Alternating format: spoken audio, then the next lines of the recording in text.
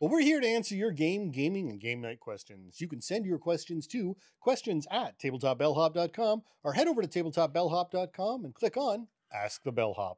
Uh, social media works too. We're everywhere as Tabletop Bellhop, one word. Now, the best way is for questions to come through the website. That way they get logged and I get an email notification and I get a little thing on my WordPress that spins at the top and they don't get missed. I'm still not going to say no to a question asked anywhere else either. It is the last Wednesday of the month, which means it's time for another AMA. Tonight, we're going to be fielding questions from the lobby, our chat room here on Twitch. All right, one thing I'd like to start doing with these AMAs, just to try to um, uh, make the shows a bit more focused so that we're not talking about 20 different things in one episode and honestly to make them easier to promote so one of the things we do with each of these episodes we convert them into a youtube video and it's really hard in a whatever 150 character youtube title to talk about 18 different things we talked about in an AMA. So we're going to try to stick to a smaller handful of questions and spend a bit more time on each of them. Now that might involve like looking some stuff up on Google or actually taking the time to look up stuff on Board Game Geek. And I think that's going to be worth it so that we can actually deep dive the questions a little better and give you better quality content instead of just throwing out an answer to something quickly. Now, I'm not saying you can't ask anything. It is an AMA. I'm not saying we're going to throw stuff out. Maybe we'll fire off some quick questions that we won't SEO, right? But we're looking for, you know, three really good topics we can cover for tonight. All right. Well, since uh, we haven't got anything in the lobby yet, I'm going to start off with a question we got from Sean P. Kelly last week that we All talked right. about bumping to this week for the AMA. So we uh, we've chatted about Kickstarter many a time on this show. We've even done full Kickstarter episodes. Mm-hmm. But what on Kickstarter right now has you excited? All right, so we talked about this during the coffee break. So the number one game for me that's being kickstarted right now isn't even on Kickstarter as far as I'm concerned. It is on Hasbro Pulse, which is Hasbro's own internal uh, crowdfunding, whatever the heck. I don't think it's actually crowdfunding at all, to be honest. I think it's Kickstarter's way to set up a pre-order system, because uh, I'm pretty sure there's nothing that doesn't ever get funded there. Like I think it's just their way of building up hype, and that is the new edition of a classic, which is Hero Quest. Which I don't know if people on the stream can see, but my copies are up there behind me, um, just above my head there. Hero Quest was a game that, unlike many people who are like, "Oh, I played that growing up," well, I, I, was I was pretty grown up by the time I was playing Hero Quest. It was a game that actually I played with Deanna when we were dating. We actually played through the entire campaign together, so that's always had a special place in my heart due to that. Plus, I love the game. It was based on the Warhammer universe, and I was a big fan of the Warhammer universe. And it was such a simple system, and it was a game that was easily expanded. And it was one of the things that got me into dungeon mastering fantasy style games is making my own Hero Quest scenarios. So Hero Quest on Hasbro Pulse. Yes, I realize I'm cheating because it's not on Kickstarter, but is is my number one. Now I'm guessing that my kids have probably worked with Deanna, and there may be a copy of that coming at Christmas. Well, it won't be coming at Christmas because it won't be funded, but I'll probably get notification that something was funded there. But that is probably the one. And I don't know. I gotta admit, I debated it. It is a lot of money when the project first launched, they were doing ridiculous things for Canadian shipping. They've thankfully fixed that now. I think it's only 30 bucks for the whole thing now, but they were going to charge more than the game for shipping. And I don't know, like they are literally reprinting the game with a new set of artwork. And I got to admit, part of me wishes Restoration Games would have gotten the license. And what's weird is Restoration Games registered a trademark for Hero Quest. So I don't know if maybe something else was happening or where what happened there or maybe that's why hasbro's rushing this out is to assert their ip ownership i don't know but i kind of would have liked the modernization but then there's enough nostalgia for the original and i had fun with it that it part of me is also like nah you know what that's better than ruining it i would rather have what i played before improved slightly than a brand new game i don't actually enjoy so I, I was on the fence for a while about buying it myself, and then I decided to sit back and like, you know what? This would make a great Christmas gift. This I'm hard to shop for. I know I'm hard to shop for. So if you guys want to do that, do that. That'd be cool. And if I don't get it, I'm not going to be that upset either. Yeah, no, that's absolutely valid, and I think everyone had hoped that that was going to come out on Kickstarter uh, through Restoration Games. Mm. Um, but licenses do what licenses do. Uh, I've got two active games backed on Kickstarter. Well, yep. two and a half, three. Uh, Studies in Sorcery caught my eye. Yep. Um, I know the marketing, the marketing hook of it pushed me a little bit. Uh, it's not a fancy game. It's not a big game, but it's a solid card-based game. And again, I'm I'm a sucker for card-based games, for sure. Uh, and then on top of that, I did fall into the trap and uh, and did give them my money. And I'm not going to be upset. Is uh, the Hoop Gods and the second printing of Red Oh, you did do Gods. it. I Nice. did end up. Uh, I was actually one of the ones who helped push them into their first day. Um, Nice. At the at the at the you know eleventh hour and 59th minute, help push them over their uh, their tar- their target for that first day. Um, and they're- they've already gotten a couple of stretch goals on that, so that's Wow. great. All Uh, another one I'm tempted by because I don't know if Sean specified gaming Kickstarters or not. I No, don't know if he did, but just in case he didn't, I think he just said what's on Kickstarter right now. Simon excited." Stalenhag, the man who invented Mhm. Tales from the Loop, has the Labyrinth. This is his newest art book. And I didn't even realize it that he became famous because of Kickstarter. The original Tales from the Loop art Oh. book that spawned the TV series, the role playing game, and four other books, and like an, an novels and comic books are coming and everything else was originally a Kickstarter. The this artist was unknown before launching Tales from the Loop, the original on Kickstarter, and he's doing his new one called The Labyrinth, which definitely seems to again be progressing the storyline with older people. So that seems to be a progression. So Tales of the Loop was kids, Things from the Flood was uh like teenagers, high school, whereas every stuff for the uh, the Labyrinth looks uh, a little more aged. Right. And it looks fantastic. I, I this is one of those if I had spare cash to spend on art books, this would be one I would buy. Yeah, absolutely. Um, I don't have anything else really that I'm going for. I know actually uh, the giveaway we're doing from uh, uh, the folks at um, Half monster. Half Monster have just started a new one. I did take a look at it. It is interesting. It is a superhero based card game, um, and I, I I hovered my finger over the button for a long time. Uh, It's it's re- interesting. It's really cool. Um, honestly, I I'm sad to say this. Uh, I'm picky enough now that the art was what drove me away. Wow. Um, it's it's an interesting game, but the mechanics alone aren't enough. If it had something better in the way of art on it, I probably would have div- uh, d- uh, dove on it. Um, but I could do those mechanics myself somewhere. Like it's not. Mhm. It's it's uh, it's very much um, uh, and uh, a, a, a game like the um, you're you're making up a story with cards basically. Okay. So you you you generate a superhero with superpowers and a uh, a victim who needs saving, and you do a sort Okay. of story based off of that. But it's really kind of simplistic art, and not not in a great stylized simplicity, just kind of Yep. simplistic. And I ended up not. isn't this like like Trust Me, I'm a Superhero or something? yeah, that's What's the one. Yeah, trust me. I'm a yeah, Trust. Me, I'm a Superhero. Yeah, which is actually a re-theme of an earlier game they made called Trust Me, I'm a Doctor. Yep. Though this looks um have less questionable content, we'll just say. Well, they do have two uh, expansions. There is a, an option you can get the the base game plus two expansions. One of Okay. which is silly heroes, and the other one is sexy heroes. Yeah, see, So they have that option in there. I don't know. There, there was there was stuff with like experimenting on children in Ooh, that's the not- other no. one, and I was like, no, sorry. No, that's not okay. and plague doctor stuff, like like nasty things people did to each other back in the medieval times Oh, that I don't yeah. think it should be part of levity, in my opinion. But to each their own. Yep. One I thought you might be interested in is Urban Shadows Second Edition. As far as RPGs, that just launched. It was either today or yesterday. Oh, see, I've been off uh, Twitter for a couple of days, so Ah, no, this one just launched. is a big deal. It's Magpie Games. Urban Shadows is considered one of the best. Um, what do you call it? Urban fantasy RPGs out oh, and there. they did is- well. oh yeah, they're Wow. they're doing fantastically well.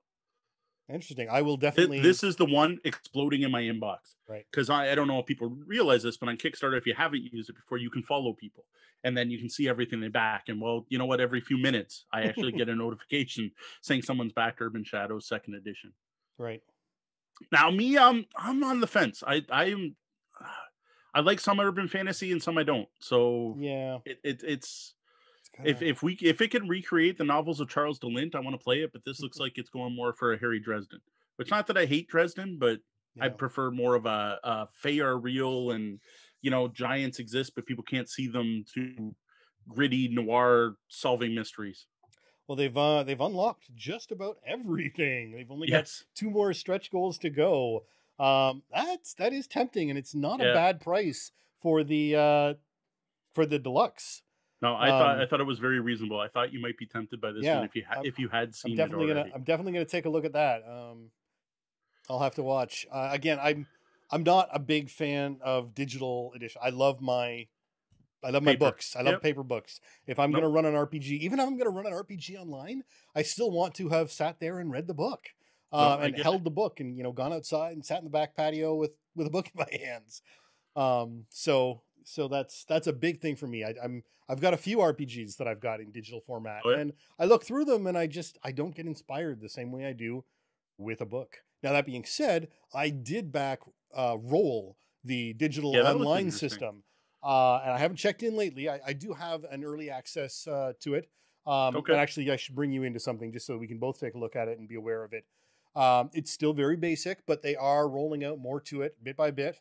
Uh, and it looks to be a solid, uh, you know, contender up against places like Fantasy Grounds and Roll mm-hmm. Twenty, and it's aimed more at the storytelling uh, crowd as opposed right. to the D and D Fifth Ed or uh, you know yep, ACC yep. crowd. All right. Speaking of the sor- the the storytelling crowd, I do have to bring up one that most of my Twitter is going nuts for, and that is thirsty sword lesbians. Yes. Cross swords and fall in love with this tabletop RPG by April Kit Walsh, celebrating queer love and power, powered by the apocalypse, sword fighting lesbians. Yep. That I gotta say, that's one I want to back just to support. I don't know if it'd be my game or something I'd ever want to play, but this just to me is something that I think is fantastic. It looks amazing. The artwork looks great. The layout looks fantastic. Everything about this game looks fantastic. I just don't know if it's the kind of story I want to play in but I'm this is one that again, if I had the spare money just to support other people, I've been tempted to do that. I'm like, I'm gonna set up a Patreon where people give me money just to support other people's Patreon, so I can take the time to find who to support. I'm like, here, I'll, I'll take good care of your money. I'll give it to the right people, and that's that's thirsty sword lesbians is one I would definitely support in that case. And interestingly, uh, the digital uh, or the the cyber flirt on uh, thirsty lesbians, thirty dollars gets you all the digital documents, including the roll 20 campaign module. So yep. for those all digital gamers they've, they've thought about you in advance uh, and you are good to go right there which is nice. And then just a couple quick honorable mentions. Um, one i am most curious about but i wouldn't back myself is frostpunk this is a very impressive looking board game, but I worry about its ability to deliver. And it's the first created by Glass Cannon Games. It's an overly produced. You can tell that the someone saw Dark Tower was coming out because there's a tower in the middle of the board and there's 3D scenery. And this one, I, am gonna wait. I want to wait for reviews and I want to wait and see if it's twenty dollars on Amazon uh, six months after it kickstarts, or if this becomes the next you know um Gloomhaven that gets a second printing through Kickstarter. It's not one I'm willing to take the chance on, but I gotta say it looks pretty cool. Yeah, absolutely. And there's there's a lot of I mean, well, there's always a lot of games on board on on Kickstarter. Yeah. Um, and there are a lot of seriously questionable games on Kickstarter oh, yeah. these days. Um, always. Uh, it's interesting. I, I I shared something with Mo the other day. I got alerted to a accidental start of a Kickstarter project that had uh, they'd accidentally hit their launch button before they planned to. And while the art on the cards actually looked really solid, uh, it was well laid out. Yep. The iconography was nice. Everything else about the Kickstarter page sent up giant red flags. Um, it was, I mean, they were just like they, it was a red flag. It, yeah. the whole thing should have just been a waving red flag. It was, it was kind of horrifying, and and and they couldn't have gotten my money because of the way the Kickstarter page was laid out. Now, we know they launched early. Maybe someone whose English was not their first language had set up the rough page and an editor was going to go in. I hope so. but uh, as it was when it when it did that pre-launch, it kind of scared yeah. me off them completely.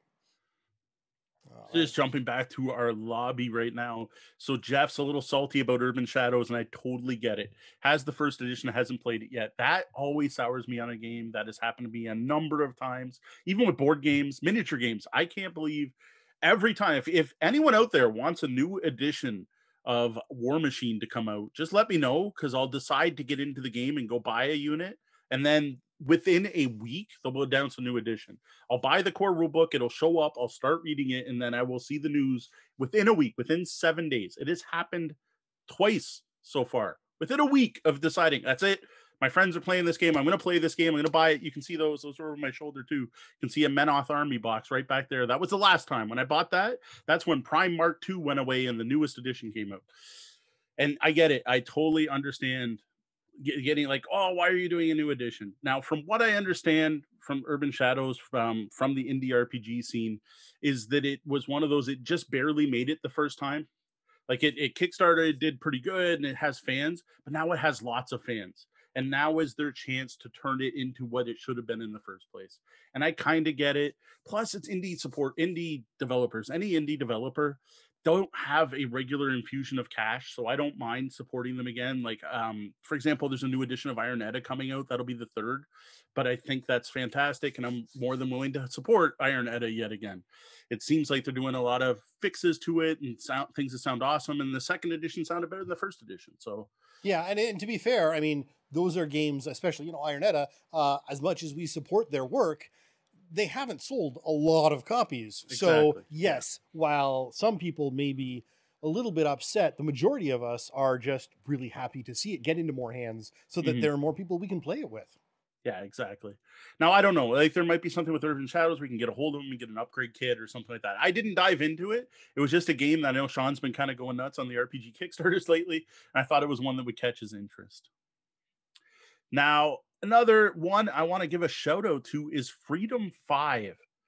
Couple things this is doing. For one, it's based on the highly popular Sentinels of the Multiverse universe, which I still want that RPG. This is a cooperative comic book board game and what they have done, which I haven't seen on Kickstarter yet, is there are a couple different things custom meeples, but pre painted miniatures. And I'm like, wow. So not only am I going to have like these things, the pictures I'm seeing of them look like Disney Infinity or or um the Spyro stuff you can buy. And I'm like, wow, that is an option is to get it. I gotta admit, it's expensive. It's double the price of the the original game. If you want the Sentinel edition with the pre-painted figures, you're you're gonna pay for it. Or maybe that's even the limited edition where is the one that gives you the the pre-painted figures but i'm like that is really cool the other thing that's really impressive is arcane wonders is putting this out now everything sentinel comics in the past was like small little indie company. Oh i'm drawing a blank on who used to produce it. It's not indie boards and cards. Now i'm drawing a blank on who used to produce sentinel comics. So i don't know what happened there like with the license changing or anything yeah. else but like they have heroic scale miniatures they're 6.3 millimeters tall plus i love the sentinel comics universe the game looks interesting it looks well done. No it's not the next marvel right? It's not going to do as good as a marvel game or a dc game but there are fans of the series out there. Plus i enjoy playing unlicensed superhero stuff now and then too. So again this is an honorable mention this is one i'm going to wait till it's out. It's a brand new system we'll see how it does maybe it's something i'll pick up once it's uh once it's out on the market but it's one i'm definitely going to be watching Excellent. And then we're going to leave off with a light one that just looks neat because I like dexterity games way more than I probably should. For being what I'd normally call a heavy gamer, I just, I don't know, I have a thing for dexterity games, things I get to touch and feel. And that is Kabuto Sumo this just looks fascinating it's you're putting these discs onto this like lily pad and you're trying to get ones to fall off and it kind of reminds me of the the ticket machine where you drop the coins in and it pushes other coins off it, it's kind of using that mechanism game's only 30 bucks it just looks neat uh, the, the art style is really cool I don't know something about this game. Like I see it and I'm like, I want that game. That just looks cool. I want to have this game. Yeah, they and they. I mean, they had a solid marketing push too. Like when that yeah. dropped, um they there were waves of that game coming out yes. just, just washing over twitter. So uh that was definitely a solid one. All right that's it from me for kickstarter. Yeah i haven't got i mean i'm waiting on some stuff. I've got some stuff in the pipeline but uh, i don't want to necessarily shout out that because well you guys can't get that because it's already closed and working on fulfill me and stuff like worldwide wrestling and galaxy in peril. Yeah yeah the latest edition of worldwide wrestling from nathan d. Paoletta. i am looking forward to that uh, that game is so much fun. I that is just such a good game. And then what's another one is um I I am still waiting for Anachrony. Anachrony, I don't know if it's COVID hit it or what, but that is one of the most delayed Kickstarters I've had in recent memory. Like in the past, having a Kickstarter be three years late used to happen a little more often. now I'm a little more discerning in what I back, and people tend to get their stuff out late usually, but not that late. That one's taken its time And to be honest, I want to look. What else am I backing? I don't think Well, I have anything else. Well, Gorinto, yes, we, we're aware of that. One's not behind yet. That wasn't supposed to come out till next year. No, no, so- he's he's looking. He's they're they're sounding good in time. I know one of the problems that's really been happening. Um, I've got some of my technology ba- uh, projects that I'm backing uh, are running late on delivery because they can't get into the factories Yeah. to look at the prototypes. Um, like they just they, they can't look at their prototypes because they can't get into a Mhm. factory in China. Um, even if they can get to China, they can't get into the factory Yeah, they can't look get stuff. Um, so uh, there's stuff like that that's going on, and I mean, prototype. You, you've got manufacturing issues with games too. So if you if you might have been planning to fly over to China and inspect all your pieces before Mm-hmm. manufacturing, now you've got to get it put on a slow boat, shipped over to North America where you can inspect it, tell them it's wrong, send it back. And back. then if it's wrong, yeah. you know, Yeah. not a fun uh, product production cycle in that case. Yeah, so Anachrony was due out in March this year. So that that's it's not a year behind yet, but I think it's going to hit there. Uh Worldwide Wrestling I am still waiting on and that's it for stuff I back. Now, yes, there are like um the new um oh, what's it called? I'm drawing a blank. Valeria game. Like Yes. that I should be getting a production copy. There's some stuff that we did Kickstarter previews for that the publishers are supposed to be providing us with official mm-hmm. copies once they come out and then we'll do a review of the the full production version. But I don't have this is the problem with that. I don't have a way to track those. Right. And I was telling Deanna that what I should start doing, plus it shows some support, is backing all of those at a buck. Right. And then making a note so at least I see the updates and stuff. Cause like I honestly have no idea what's going on with Gorinto. Like I know see, it's coming. See, see, Gorinto, I do know because I did that with. I yeah, backed you them, backed that one. I backed yeah. him for, for some bucks. I wasn't going to get the game because it's not something that's going to get played here.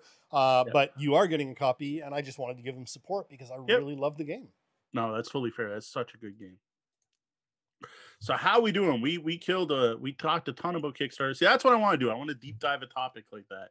Does anyone in the chat room? We we got eleven people in there. Come on, someone must have a gaming question. Uh, did I need to narrow it down again? Because last week we narrowed it down, and I want I want questions about transitions. How about I don't know Well, we do have transitions questions. about the We time do of have questions that came in early on Discord today.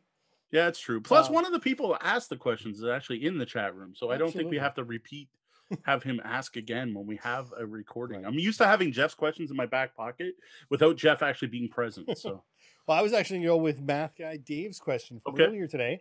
So, what are the games that are at the top of your list to play once it's safe to play in public again? Now, what are you know? We know you've got some uh, some family gaming going on. You've got you know four adults who can play uh, occasionally. But uh, you know, what are those bigger names? You bigger games that you might want to get out there that you just can't do right now. well, the biggest one, which isn't really a play in public, so I want to get back to playing Gloomhaven with Tori and Cat. That's not playing in public. That's playing in my basement. But that's the one I think we've missed the most. I we really enjoy hanging with Tori and Cat, meeting up early, going for dinner sometimes, meeting up on the weekend, uh, heading out to like the Sandwich Brew Pub, have a couple drinks and some um some charcuterie, and then heading back here and playing some games, and then our weekly Gloomhaven games. Those are the big ones. Uh the other, I don't know, like I you know what? I just don't have anything off the top of my head, but I know if I look at our review games, there's like stuff we've reviewed that I know will be better with more players that we kept talking about. Um CO2 I want to play with more people, but I'm not like in a rush to play that. Right. Um trying to think what have we reviewed recently? That- I'm like many. I know there's stuff. I'm just like drawing a blank right now. Well, I mean, some of it would be uh, RPGs, right? You- Well, you know, yes. we don't we aren't online RPGers. Uh, so getting those RPGs played is is tough uh, when you don't have that digital group already uh, set or easily set. Though we did we did do that one game we did. online. We, it worked we pretty one well. game. Yep. It, and we probably should do it again. Yeah. For some reason, I, I I find it easier to dedicate my time to a physical game. Right. Whereas when I'm like, yeah, I don't know, sometime we should play some games, some online somewhere with some people. I don't know when. Uh, Um, why, why? Like, I, I just, I feel like I'm mental blind. This is bad for an AMA. I can't remember names of games. What else have we talked about recently? Like, the the escape room games are not; those are actually better two player. Um, this is bad. I feel bad. I should, you know what? You even had this in the notes earlier, and I didn't read. I didn't cheat and read ahead of time and like prep any of this, which is I think obvious right now. Um, I- in general, it's just know what I miss. I miss playing a bunch of different games. right. Like it's it's not a specific game. What I miss is going to easy mode or CG Realm or a coffee shop or wherever or, uh, any local event may be and bringing a milk crate with six or seven different games and sitting down and like judging the crowd and deciding when to pl- what to play based on the crowd and and one of the big things I miss is having other people there who are excited to play something. So I would have came out like say we were going this weekend. I probably trying to think what would I want to show off that we played the most. I can't show off Scooby Doo because it's just that's what I want to show off. Is like here I'll show you how Scooby Doo works. We'll do a demo night and play through the first puzzle. Um, but like here Coimbra. So Coimbra, D and I played and we're like, man, this is good, but I can tell it'll be better with more players. So I bring Coimbra to play, and I grab the Robotech Force of Arms just to play it with someone other than Deanna because I want to review it to play it with some different people and be like, hey, cool Robotech game with cool art. Sit down and play that, but then bring a copy of Imhotep and Horrified because it's this time of year, right? Like you got to bring. If I was hosting any game event for the next this last month, I'd be bringing Horrified with me, and then a copy of Go Cuckoo in case Tech or Kevin shows up because he still hasn't had a chance to play Go Cuckoo. And then when we get there, have someone else show up and say, "Hey, did you bring Terraforming Mars?" and sit down and play that. Like I just missed that five hours of dedicated gaming and switching what we play and getting in three or five games depending on how long they are. And I think that's what I miss the most is that variety. It's like when we do our week in review now, it's like, yeah, I played the two games we were going to review because I needed to play them so we could review them. And that's kind of all we're doing right now. We're not getting in a lot of extra stuff. Nyctophobia. There's there one. we go. I want to play Nyctophobia in public with other people. Not that my extended family was bad, but that's one I want to show off. I want to play that, and I want to play. I want to wear the dark out glasses and do the spooky thing. That's an example of one of the ones. And Eclipse, Eclipse Second Dawn for the Galaxy. I've got this massive box I spent way too much money on. That just we tried it two player and like nah. And that's one, and, and that's people. one I'd love to be down there and and yeah. you know get in on. So there, I knew they were there. I knew they were in my head somewhere. Eclipse is the biggest. Eclipse, there. We're gonna take back everything I said, unwind it, pull it all back in, and say no. Eclipse Second Dawn for the Galaxy. With a, I think it plays six. It plays six or eight players. I can't remember now. Whatever the max player count is, give us twelve hours to do it. it shouldn't take that long it's not Twilight Imperium, but it might take us eight the first time. You know, have have like I don't know that unfortunately they're gone now. I was gonna say and have like the Windsor sandwich shop there so I can get a coney dog part way through and take a break. Yep. Yeah, no, Eclipse Second Dawn for the Galaxies up there. Um the other 4X game that I have to review that I can't review because it's just not the kind of game that my mother-in-law is gonna dive into. Um Burning Suns. Right. Which is something I have from Emil Larsen that I interviewed back when he first kickstarted the game that's another one. Um, I probably would have brought out Flick Wars. I think is another one. That's that's a get. I want to play a six player game of Flick Wars with lots of stuff going on the map, with lots of lots of scenery going on.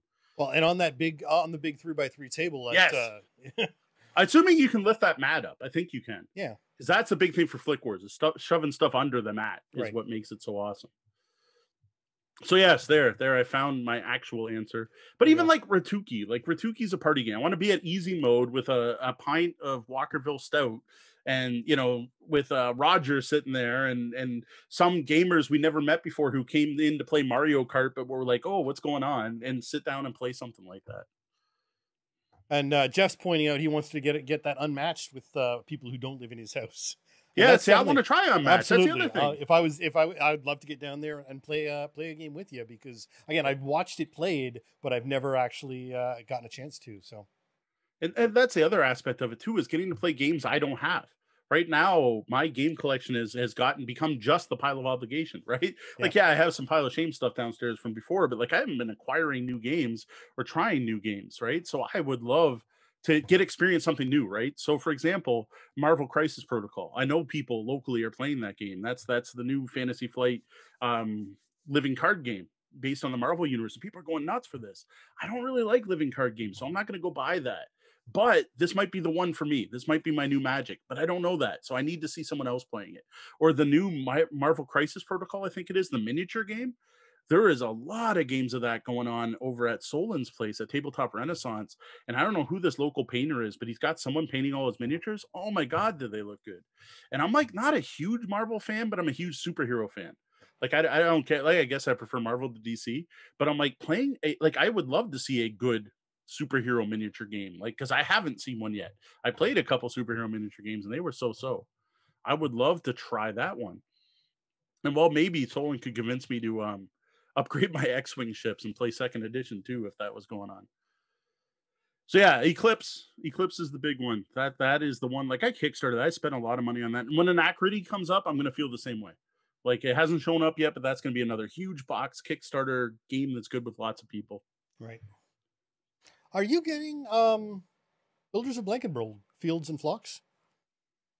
I we re- we previewed it. Yeah. I, I don't I don't remember if there was an agreement there to get the finished copy when the game came out. I, I honestly do not remember what our agreement was. I'd have to look that up. I just realized I that was one because I had I had backed I had thrown a little bit of money at the failed one, uh, Yeah. and then I, and then they restarted it, and I didn't. Uh, I didn't. Yeah, to be honest. I I don't know if I caught when they restarted it. oh, That's a neat game. Builders of Blanc. There's a hidden gem. Builders of Blankenburg. Fields of Flocks was okay. It was it was an interesting enough addition. Yep. All righty. Uh, All right, I think that that's two nice, good, solid ones. all right. So we got uh, a. Uh, uh, we're going to relate back to that first one a little bit with uh, Okay, a no question from. Pennywise. Uh, what did you think of Gamefound? I the best thing about Gamefound is that Kickstarter has a competitor. That to me is the most important thing Gamefound has done is become a viable alternative to Kickstarter, which I think is strongly needed to just just for in the idea of of uh, what free marketship. I don't know what whatever you want to call it, free market economy. Like I I don't want Kickstarter to have a monopoly, and I am glad that more people are using it. Because I got to say, the other I can't even remember the other one. There was another Indiegogo Right. seems to have kind of like no one seems to be using that one anymore.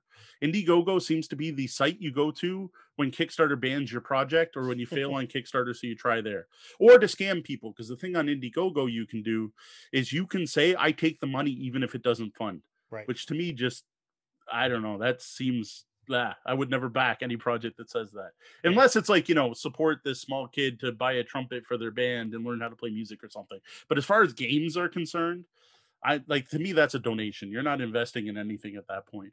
Yeah, and and from the just a, a quick look at Indiegogo's uh, front page, they are very technologically oriented. Not the Kickstarter Now, isn't, yeah, see that's Um, changed. but but everything on uh, the, the the front page and their their what's cool and and top lists seems to be techno oriented. okay, So I'm not even seeing. Uh, oh, there are some. Yeah, there is a. Okay, so tabletop games. What do they have for tabletop games?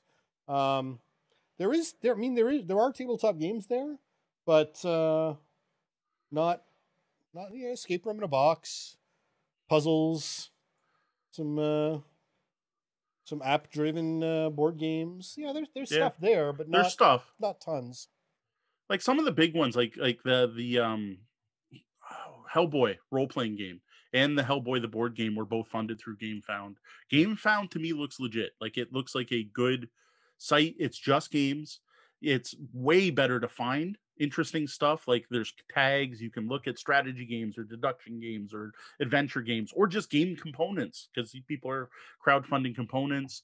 There are actual games getting funded. From what I understand, it's more it's less North American centric than Kickstarter. Okay. So it's better for other countries. Like you're seeing French versions of games getting put out. I like I said, to me, I haven't used it. I have no opinion on I, I haven't researched what it costs to launch a project on GameFound, if they charge more or less than Kickstarter. I have to assume less because Kickstarter charges a fortune. But maybe they charge more because it's a focus market. right. I don't I it just like I said, the biggest thing is it's a competitor. It's another source. It's not Kickstarter has all the eggs in their basket. And it's not owned by Hasbro like uh Pulse, right? It's it's not owned by a huge conglomerate corporation that has millions of dollars and gets to decide which games are published and which aren't, right? It's still very independent. And I appreciate that aspect of So it. Game Founder says that they are a free pledge manager. So I'm not sure what There's their- got they what must their take something. monetization is, but uh, yeah, there must be be something. But uh, built for board gamers by board. I have to admit, I had never heard of Gamefound. Oh, okay. That's actually this is tonight is the first I've ever seen There you it. go. So uh, Something- thank you something new. for thank you for bringing that up, Pennywise, and uh, it's new something else to be on my list. I guess I've just never gotten caught up in a wave of, of advertising for that. Uh, Yeah, that big before. games from them were Nemesis, which is uh, an Aliens board game. Um, the other thing too is it does seem to be much more board game focused. Well, it's by whereas, by for by game by board gamers for board gamers. yeah, board described. game. Like there are RPGs on it, but you definitely get more of the indie. You're not going to find um a thirsty sword lesbians on Gamefound. It's just right. not the kind of thing. Now, what I also really like is itch.io for for you want to talk indie RPGs. I think yeah, itch.io is more important, bigger, and and the biggest thing since the Forge, and I think is going to surpass. Uh, well, the problem is it's still niche. Yep. Once people more people learn about it, I think it's going to blow up to be bigger than Kickstarter for yep. indie RPGs. Yep. The thing is, Kickstarter still got the numbers, right? So what you do is you create your game on itch.io right now. So you do your Ashcan and all the steps to get it done and then you kickstart it to get the marketing. Yeah, absolutely. Seems to be the best way to put out an indie RPG nowadays. Yeah. And the best thing is, it's something we've talked about many times on the show is itch.io lets you fail first. It lets you fail forward. Yep. It lets you figure out that your game doesn't work before jumping to Kickstarter. Right. And there's also a real community there. So yes. there are discussion groups and things within the community to to have chats uh, chats about things. So again, it's an alternative to in some ways to Facebook where you might mm. not want to be getting into a Facebook group of designers who, yep. in many cases, may just be there to try and promote their own stuff, or you're in one where they're enforcing so many rules to try and prevent this, that, and the other thing. Itch.io is a little bit more of a free creator space, yes, uh, for that sort of thing which was very much designed for again like musicians right? Like it, it and and video games. Yeah it, it's video games especially indie video games but the rpg community there is just exploded in a way. Because it's also now becoming an alternative to things like um, indie press revolution and DriveThru RPG because they take less money. Right. So like drive through again has the numbers it has the people on it because everyone knows that's the place you go for pdfs and now print on demand but it just doesn't charge as much. Yep. And I don't even know how. I again, I haven't done it. I don't have any games there. I yet have yet to actually try to sell any of my games. So one of these days, just dive into it. But that's another one of those things that takes time.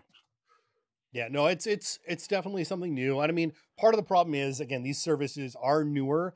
Uh, and so while right now they are charging less and, and, and taking less for yes. what they give, uh, at some point monetization issues generally mm-hmm. arise and people need to pay the bills. So, and to be honest, it's one of those things where someone will probably buy itch.io. Yeah, more than likely. What'll probably happen. Uh, if we're if we'll be lucky, might it might be someone. Well, if we're if you're really lucky, it might be someone like DriveThru RPG who bought it and kept it as the indie it's, wing of. Well, yeah. Drive to be honest, RPG. that's what happened because there used to be Drive Through RPG and there was RPG Now, right. and they were separate companies. And then OneBookShelf and I don't know if it was a merger or someone bought someone out. I don't know all the background there.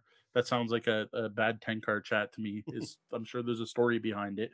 But um there was definitely two separate PDF companies out there and they they have amalgamated somehow.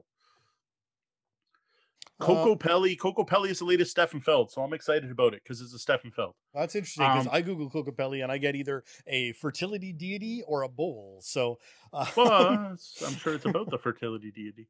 Uh, that was that's just recently announced. What I am actually really kind of excited about, and I really hope Travis at Queen Games comes through for us, is the City series that was kickstarted. I don't think that's still on Kickstarter because I didn't back it, but that is a series of four Stefan Feld games, which are rethemes and remashings of his original games being redone. So there's a newer version of Bruges coming out and so on, based on different cities, and I'm really looking forward to that. Those, I, it, uh, to be honest, if I'm not able to get uh, uh, review copies, I'm looking forward to the Queen Games garage sale or yard sale that ends up on Amazon eventually. Because I don't know what it is with Queen Games and their pricing on Amazon, but their games end up cheap eventually. So but yeah, Stefan Feld, any new Stefan Feld games, I don't, uh, I, I get excited about because it's a Stefan Feld game. Though I'm behind. I have not kept up with the latest Feld releases even close. I haven't I haven't even seen Nova Luna except for a couple people playing it on uh, Tabletop Simulator during one of the online conventions. Right. All right, we got anything else crowdfunding? We might as well stick to the same topic if we have it. Um, not. I thought I saw something else we have the C series. Okay, so Kokopelli was there. I actually yeah. had the chat open for a minute. um, Yeah, not excited to sign up for one more service. I gotta agree that there Yep. is that aspect. Of There it. is. So so Red Red Meeple Ryan in the chat is saying the problem in in a way the problem with all these different services is having to sign up for all of them and having to keep track of them and and yet more services. I you know what it, that's the toss up, right? Is, is you could have the monopoly that does it well and does it right and it's great, or you can have the competition which drives the monopoly to hopefully be better and you got to kind of balance that, right? Like I wish there was a competitor for Facebook out there because man, I hate using that site, but it's the place you have to go because it's where the people are, and it's it's the only way to get some of your content seen nowadays because so many people use that site. So, you know, I while I don't necessarily want to sign up for MeWe and Yumi Social and WT Social, I do because I keep hoping that one of them will, you know, become the next G Plus. To be honest, which of the like an actual competitor that hopefully the uh, host doesn't give up on before Yeah, it I gets, you and because I mean honestly, I'd love Google to to be the next G plus, yeah, but I would, love also that. be at the same time hesitant to dive into it well now, yeah, because of the Google graveyard.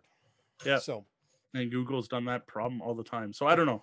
Like I get it. I get not wanting to sign up for anything else. To be honest, I am gonna go wherever the coolest looking games are, right? Like and, and the ones that I know. Like if all of a sudden Queen Games and Stefan Feld starts using GameFound, I'll probably start buying games on GameFound. I'm I'm gonna chase the stuff more than I'm gonna care about the platform. Now I'm not gonna try some brand new site that no one's ever used before. Yeah. But now now these sites are all established, right? Indiegogo, GameFound. although There's you others- jumped on MeWe, so I think that was pretty close to. oh, me, we still that of all of the Facebook alternatives, that is the one we get the most interaction on. That that is where we get a lot of our comments. Um, all of the Chris Groff comments, all of the Phil Hatfield comments, all of um, there's four or five Keith Davies. There's about names that come up often on our show Right. where people interact with us. Actually happens on MeWe So because what happens solid is engagement there. Yeah. yeah, we get solid engagement there. That's where a lot of the gamers from G Plus went. The problem is they when they first launched had some they were a little too willing to allow things on their site that people didn't want them to allow on their site. They were they were trying to be an open and Impartial. impartial community, but when you do that in the current state of the world, you get groups that just shouldn't exist. Period, Yep. online or otherwise. Yeah, without diving too much into the political, yes, they were fence sitters. And some people were not willing to go onto a site and support a site that were fence sitters. Yep. And to be honest, I don't know if they still feel that way. I haven't kept track.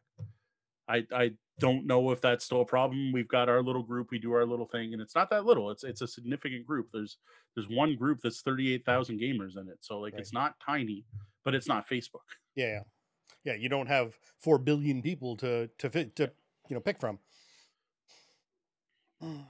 No, I do. I MeWe's MeWe is the best G plus alternative out there as long as you are okay with their hands off politics. Right. I think is probably the best way to word it. All right. All right. um, Uh how long we going? I haven't been watching the time as much I as you haven't have been as close. We're about an hour, you know, a little under an hour from the start of show. From the start. So we could probably do one We more. could probably do another uh, another question. I think one- we'll do one more. What we should do is we should cover Jeff's um, correction from our last AMA. Absolutely. Here we go. So uh, Jeff was watching the AMA, and we got to got to his last AMA from uh, September, and he got got Yep. to his question about content, uh, about games versus people creating games.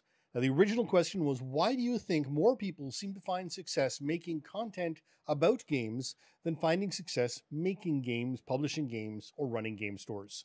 Right. Where we we kind of went off on a whole Yeah, we I don't think they are. we, we picked the direction was our ran. Yeah, we picked Yeah, the direction we- and ran off. So, uh, what what Jeff can see are people making game content on YouTube as a business. Uh, he gets the impression that Tom Vasel, Rahdo, the Shut Up and Sit Down people, Mike Mercer, Wil Wheaton with Tabletop, and stuff like that are far more financially successful than most game designers or small publishers. People, not companies. Uh, the guy behind designing Pandemic makes a modest full time living, but Mhm. his is one of the most successful games on the market besides Catan. True. Most designers barely make enough to order a pizza a month on royalties, is the impression that Jeff gets. Yeah, and I gotta say he's gotta be right again. I don't know actual numbers, but they said the one I always saw, we mentioned Stefan Feld like 10 times tonight. So we're gonna stick with Stefan Feld. Stefan Feld has a day job. That that right there tells you almost everything you need to know about getting rich in the board game industry. It doesn't happen, right? You, like and and again, I don't know know how well Matt Leacock, who designed Pandemic, does. There are game designers out there who have made it, like your Friedemann Friese, your Reiner Knizias, that they are out there. They do exist, but he's writing away. But I, the thing is, it's it's a, it's a one percent issue in a way. It's it's there aren't the like Jeff almost mentioned them all with Tom Vasel, Rahdo, shut up and sit down. Like that, those are the big producers. I know some of the other people who produce content on YouTube and they don't like they're not that big. There's um well, Chaz and, Marlar would be another one that should be even, up there. I mean, let's talk about Rahdo even. You know, Rahdo yeah. got his start by using, and we're going to loop this back to the earlier topic, Kickstarter. You yeah. know, he went on Kickstarter and said, "Look, I want to go and I want to go to Spiel. Go I want to buy these games. Yeah. I want to make this a thing and, and quit my day job. So here's some funding things. And you know, if you fund me at this much, you get to be on the show with me. And if you fund me at this much, I will test your prototype games. Mm-hmm. Um, he had gone from a you know very much a, a hobbyist who was doing this every, mm-hmm. you know every once in a while for fun to making it a full time job and got people to back like eighteen thousand dollars for him in order to fund his mm-hmm. career. But I mean, that's still, you know, that's still not really a lot of money when you look no. at a, a, you know a year's salary or multiple years. Well, that that would supplement his YouTube income, right, and any other income he had. Well, and at the time, I don't think he was making any any YouTube or any or very little YouTube income. Um, back yeah. in 2014 or 13 or whenever it was that uh, that Kickstarter happened. Mm-hmm.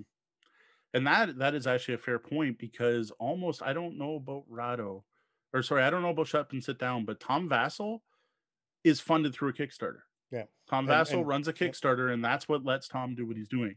Now, he already did it for years, and the biggest thing that changes now he has employees. So he was able to give his friends, basically, so a couple of his friends, full time jobs through the Kickstarter. But he was also able to dedicate enough stuff. So they literally were making videos, like unboxing videos, that are getting 10,000 views and not making enough to get by. Yep. So I think there is a misconception in general by most people on how much YouTube pays you. Yeah. The, it really does not pay a lot. Like we're nowhere near Tom Vasel's level or anything like that. And like, yes, you'll see the people sharing the fact they make a thousand dollars a day on YouTube, but those are generally the people who make videos about how to make a thousand dollars a day on YouTube. And like seriously, yeah. that's what works. It's it's the same people who sell PDFs on how to create PDFs right? Like it's it, it's it's ridiculous. It drives me nuts. But those are the things that get views, or the views on um uh, things that aren't cake, right? Like uh we watched a video about that where this Chinese production company produces a YouTube video every day and has won all these gold buttons, and all they do is they repeat the same twelve videos into different videos, and they know how to SEO it well. Right. And now Jeff's pointing out, you know, he's not thinking they're getting rich, but are getting full time jobs. And again, I think what we're trying to point out here is though it's not really a full time job unless you get bring in income from elsewhere, unless you fight to do right. the Kickstarters for yourself, right? Whereas a publisher can do a Kickstarter for their next game. Uh, you know, Tom's doing Kickstarters for him, his company, for his for business, him, yes. for um, the Dice Tower. The the the the income from the content creation uh, isn't generally making it. Um, the people who may be making it a full time job uh, are in oftentimes maybe doing questionable things. Uh, the paid reviews, the uh, you know paid previews, the and, and other and other things. Uh, you know, not properly declaring whether or not you're whether or not you've been paid to yep. do things. Um, there are there are certain issues about that and and FTC uh, declarations and things that are going on. Uh, you know, people are hiding income and and mm-hmm. things like that. So it it becomes a little more tricky. I would say no, nobody is really making a full time job out of this uh, with uh, you know just out of the content creation without going over and above and yeah. selling some sort of services. There are the rare few, but they're selling services. So an example of this is Lance Myxter, the Undead Viking. Lance Myxter, the Undead Viking, now works for Game Company. So he now has a full time job, but he has it in the game industry. Before that, he did videos, and where he got famous was he was one of the first people to do um, Kickstarter previews where he would show off the game before it was produced. And I happen to know what he charged for those. And if he's putting out enough videos in a week, you can you could live off that. He was living off that. Other content creator that manages to pull it off is Dyson Logos. Dyson Logos manages to not have to have a day job through Patreon by drawing maps. But Dyson Logos is one of the best map drawers on the damn planet There, we just got our rating. I said, damn. uh, our best map drawers on the planet. And now he's being hired by Wizards of the Coast to do maps because right. finally other people have recognized his style. But it took him forever to get there. So it happens. There are the ones that have done it. But like the example, the fact that Tom Vasel needs to run a, a Kickstarter to be able to fund it. The Secret Cabal Gaming podcast about five years ago now did the same thing. So it was um, Jamie, the, the head of the Secret Cabal, was doing the podcast as a hobby and then a lot of people kept asking for more like we love your content we want more we want more and youtube was starting to pick up and twitch was becoming a thing and like we want more content for you. He's like well the only way i can do more content is to quit my job and this doesn't pay enough to quit my job and people encouraged him to run a kickstarter and it blew up the first year. Like i actually think he made more the first year than a couple years later because it was the first time doing it but that was what let him take it to that next level. Now i would almost suggest game designers do this but then martin Wallace tried Martin Wallace went and made his own company called Tree Frog Games that was only going to produce Martin Wallace games and he was going to kickstart them all and it failed. So I don't know. I, I just think there's less out there. Now, the exception also is you mentioned Mike Mercer and Wil Wheaton. The thing is, they're celebrities. They were celebrities before right. they started gaming online they were already, I wouldn't say rich, but they were doing well enough. And more importantly, had a following already. They had a group of invested people who were willing to give them money to produce more content. And, and I mean, the fact of the matter is, if you are Wil Wheaton, then if you make a YouTube channel, you are going to start with, say, 100,000 followers. Yes which is something that most people take years and years and years to build up to. And with 100,000 followers, you're actually starting to see an income. Yes. Um, you know, you know, the guys who are making actual money on YouTube on on YouTube and just on YouTube content started about a million followers um, to make to make a really solid income. Mm-hmm. Um, mm-hmm. and and the guys who are doing that are, you know, like the YouTube guys. If you look at a Hermitcraft player, which is again, my, you know, my I've talked about many times, my my, my favorite Minecraft uh, content creators. These guys are putting out two, three videos a week, not including stream content those videos are are made by playing the playing Minecraft professionally 6 to 12 hours a day and editing that content into video and deleting all of the the grindy stuff that nobody mm. wants mm-hmm. to watch on YouTube and you know filming things with other other content creators on the server in order to get a you know 20 minute 40 minute video twice a week to keep their million followers happy uh, and then they have to stream on top of that, and they have to tweet on top of that, and and you know so on and so forth. Uh, you know, pick how there aren't too many games that you're probably willing to pay play fifty to sixty hours a week. yeah, there's none. I'm willing and that's and that's what they're many doing. hours I mean, a week. The, the guys who are the guys like the gaming people who are doing this professionally are playing those games a minimum of 50 to 60 hours a yeah. week some of them more that's the other thing too that there's a lot of work that goes behind this even like our small show compared to like to produce those Tom Vasel videos and those Dice Tower videos and the amount yeah. of work that goes into it. And you get it, when you break it down into yeah. like I, I, I do it. I do the you know minimum wage in Canada is fifteen bucks an hour, and I I work out. D and I are not making fifteen dollars an hour doing this, and trust me, our money's not coming for YouTube. That's for sure. Yeah, no, well, it, it's, there's, it's there's, there's also I mean there's other costs, especially you know ver, uh, when you look at a game you know a game creator for content, they've got to buy their PC, They've got the copy, they're one copy of the game or two copies of the game that they need. Uh, and then they're good for a year or two until they need they you know, something else. Whereas, you know, to get this running, we're look we're constantly looking at upgrading mm-hmm. microphones, mm-hmm. cameras, lighting setups, sets, uh, new PCs to increase this stream, new bandwidth to do this. You know, there are a lot of costs, and as you increase, you know, if we move all of our cameras up to 1080p, soon enough we're going to be having people ask wondering you know expecting better because everyone else has moved up to 4K, 4K or 12K or whatever else. You know, there are always ways that we can keep upgrading our video content because it's not video content of a game, right? It's not just the game shots. It's mm-hmm. it's us and and the product.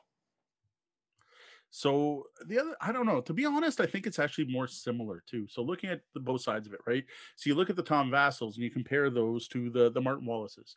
And I think the thing is, it's the it's way more work than you think, and you have to be constantly putting out content. And that's how game designers are the same thing. Like you put out one game, and even if it blows up, you're not getting much off that one game. You put out two games, you're getting a little more. You put out 20 games, assuming some of them become evergreen, right? That's why I'm saying like a Martin Wallace or a Stefan right. Feld, where people are still playing the first game they ever published because it was that good, has that. So that that is is a thing. Whereas same thing with the content creator, you got to be constantly putting out videos. Now jump into YouTube making money. Sean and I and Deanna have been watching videos that on how to get more views, how to get more subscribers, right? What can we do to get it better? And you watch these and it blows my mind because people are like, well, if my video doesn't get 10,000 views in the first hour, that's a failure. And I delete the video. That was obviously a bad one. 10,000 we don't have all our videos combined. Like, yeah, we only been around two years, but like, I have a feeling even if I look at Tom Vasel's, he doesn't have a lot of videos that have 10,000 views, even ones that have been up for a long time. Like, it yep. just, it doesn't happen. We don't have any video. If you add up all our videos together, yes, because we have one extremely well performing video, we can get to 10,000 views total over all our videos. Yeah, but I mean, that's definitely a, a, thing, right? Like, yep. Like well, and, and Instagram... like successful, right? You ten thousand views in the first hour, and that is all based in this video was all because of his thumbnail. Yep. That's all that changed. It was a picture. It's why did this video work and this one not? And it had to do with his thumbnail. Yep. That was it. Instagram Instagram has the same sort of thing, you know, the the the big money people on Instagram who are getting the the sponsorships and whatnot uh, you know, if they're if that gram doesn't pr- produce in that in the first hour, yep. it's going away because yeah, it's not it content that, that's working. Yep. So I don't know it's a thing. I Jeff may be right overall. I there may be more successful content creators than designers. I don't know. I like uh, again, we're we're we I know some of the numbers for some of the people behind the scene. I happen to be in some Facebook groups where things like pricing and money gets discussed. I will say the average cost to do a Kickstarter preview video is three hundred dollars US, but that is a video not like we produce. That is a, a video where they spend two weeks filming right. stuff and B rolls and sound effects and special yeah. effects and cards lighting up and not, like, not like something well, you throw up on you on on on Twitch. A, right. a video produced for YouTube right? So you are looking at getting paid $300 to create an ad. And I got to say, hey, publishers, what a flipping deal compared to going to an advertising company. Oh, I mean, right? absolutely. I, I like, like 300 bucks is nothing when you're if, thinking advertising if I, budget. If, if, Mo and I were living in the same city, there's a, a possibility we would be doing this sort of stuff yeah. because of my production background and, and Mo's uh, knowledge of the of that industry. But the problem is, I don't know how I could do videos for $300. You know, I, right. you know, two weeks of your life for 300 bucks that's well, that's it. You got to be doing all the other yeah. stuff at the same time. It, it's exactly. a constant hustle, to be honest, to, yeah. to keep it going. It, it's it's a constant hustle. It's it's sad, but that's where it is. And now part of this is people undervaluing the end product, but that is a totally different topic. Maybe we'll save for another AMA because at this point eh, we hit 1030. And if nothing else, I need to take a quick break.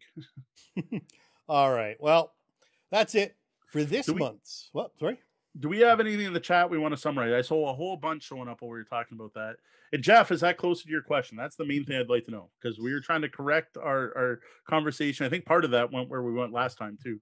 But um yeah, well, I, I, he Ryan's, may be right. Yeah, and Ryan's talking. You know, there's a lot of uh, whether or not you'll make your fortune designing games. Lots of prototyping conventions pre-pandemic that are well attended oh, yeah. by those who are wanting. And that's part of the problem. Is I mean, well, there's a million people who want to make content who want to produce stuff and uh, you know on both sides that the game designers and the content creators uh, like on youtube yes. there's a million of us on both sides. More than a million. Like that, that's just it. Con- like we've talked about it before right? And i this year is lower but for one for the pandemic and two there wasn't a bubble that burst but there's a there has been the effect that companies can no longer put out 10 games in a year. Uh, Stephen Buonocore, who's now retired, but who, when he worked for Stronghold Games, has talked about his diminishing returns on games because the market is flooded. At that point, it's literally at that point. There is no way. There was a point in time when I got into this hobby where I could theoretically play every game that was released here, every hobby board game, every designer game, everything by Mayfair, Rio Grande Games, Eggertspiele, all the big companies. I could play them all in a year. I may not want to, but I could. It could physically be done. That is impossible nowadays. It, it is it's 3000 games. There aren't enough hours in the year to try every game that comes out. And then you have all these fish trying to get a piece of the pie, right? Like p- fish getting a piece of the pie. Where am I? Don't. Those, are some, uh, interest, either, either, those fish are interesting or that pie is. Uh, fish damn. getting a uh, piece uh, of the pie. I don't even know. I don't even know what I'm talking about. You know what I mean, though, right? Like it's just yeah. there's so many people trying to design games because yeah. the amount and, of and, money for games is not changed, but the the number of people trying to take a bite out of that market yeah. is uh, like, it's the number of people. And, and it's the same thing with the content creator market right? Like we got into podcasting late. We got into streaming fairly early but like even since we've gotten to streaming when you used to go to twitch i should try to test this right now. If i go to the board game category i bet you there's more than three people streaming under board gaming when we first started podcasting two years ago you would go to board ga- gaming and you would see four streams one of them us Yep. And literally that's it. That's all the people talking about board gaming right now. I don't want to screw up Twitch by opening it, but I'm wondering how many are on right now usually about 12 to 16. I mean, yeah. on the board like that's just in two years, right? And that happens to be like Wednesday night, late at night Eastern time, right? Like I'm sure if you go to prime time, it'd be even worse. Yep. Yes, the orc and the pie. Thank you, Jamie. But yeah, in general, I there a lot of the a lot of the content creators people think are doing extremely well are are supporting the, it some other way, us included. We've said it many times. I'm not trying to hide the fact. Deanna and I, we make our money through affiliate links. We advertise products for gaming companies and mass, big mass market online retailers, and we get a small kickback for every game people buy. If it wasn't for that, we wouldn't be here right now. Or I'd, are... I, would be just getting off work and showing up and stressed out and have even more gray hair and be like, I don't know, I didn't get a chance to do the notes tonight. So there, there are 300 about. people watching uh, 18 different board, including us, 18 different board game feeds tonight. Wow, 300 is a, we have a significant piece of that pie. Like 300 people is not a lot. Nope. So, but that's it, right? Like, like, like Ryan's frustrated by. It. I know he has been because so many people doing shows at this time every week. Spread it out. The problem is, if we were on Tuesday, you'd be saying the same thing because there'd be other people doing shows. I mean, we moved from Thursday because there were too well, many. Well, I mean, critters. Role. Uh, the, the critters yeah. were would, would never watch us on on Thursdays. So, nope. Um, you know, and we, we have a couple Wednesday. that watch us. Yeah, sometimes. Um, we have been asked to move to Tuesday a couple times now, but I just have a feeling if we move to Tuesday, there'd be people saying, "Why can't you be on Wednesday?" Yeah, it's, it's right. I, like I honestly don't think we can win on that one, which is why you can watch this on YouTube at youtube.com/slash tabletop bellhop. Absolutely. All well, right. At this thing point, I think we've wrapped up everything we got for the AMA. That was a good one. I liked it. We didn't get a lot of live questions, but we had backup questions from people in the chat. Yep. And I love the interaction we got once we started talking. Absolutely. So that's it for this month's AMA. Thank you to everyone who submitted a question. For those, those of you who missed any discussion, you can watch this sec- segment at any time on YouTube. For those of you who that uh, we're here live, it will be going live. Our for those of you here live, that will be going live on Sunday. Uh, yes. Uh, no, actually, Saturday is when these it's go Saturday up. now. Saturday is I when AMA. Saturday is when the the asks go up. And that's uh, a, I'm getting confused. For the rest of you listening on the podcast, this will already be up on YouTube. Uh, and, and, we, we don't even stored, know. And we have stored questions from this episode and other episodes that we didn't get to that may get answered on future AMAs. Yes, that, that, if no one shows up next week, we'll be all good. it's definitely cooler if people are here and we get to interact with you. And I'm glad we were able to clear up things for Jeff. Finally, if you've got a gaming or game night question for us, especially a nice big meaty topic we can dig into on a full podcast episode, head over to the website and click on Ask the Bellhop or just email me directly questions at tabletopbellhop.com.